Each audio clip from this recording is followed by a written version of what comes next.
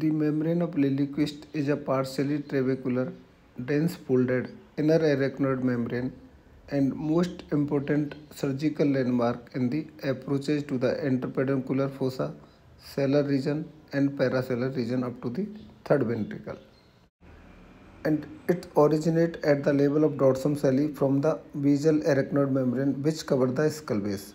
Superiorly, it extends from hypothalamus or mammillary bodies to inferior extent extremities pontomesencephalic junction and anteriorly it arises from the posterior node process and clivus and posteriorly it's going up to the third ventricle and laterally it goes up to the tentorium cerebelli and it goes through the oculomotor sheath. So extent is laterally up to the tentorium, superiorly up to hypothalamus inferior up to pontomesencephalic junction. So this is the extent of the this whitish membrane is the membrane of Liliequist and this is important landmark in third ventricle approaches और interpeduncular approaches